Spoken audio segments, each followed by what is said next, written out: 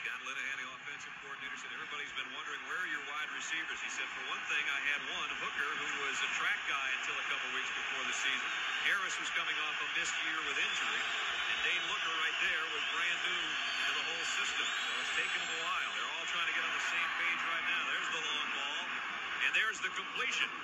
Well, you call that one, but it's Andre Desaussure, not Hooker. Yep, it was Andre Desaussure, and that was a beautiful catch that time.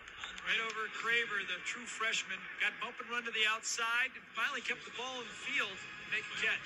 Desaussure's a big target, 6'2". He caught 14 passes as a freshman and then kind of disappeared from this offense. Put the ball up in the air, throwing against the wind. Of course, throwing the ball in Seattle in that stadium over there, that you, you get you learn to throw the ball in the wind, so it's no big deal for Brock. So first down at the 42.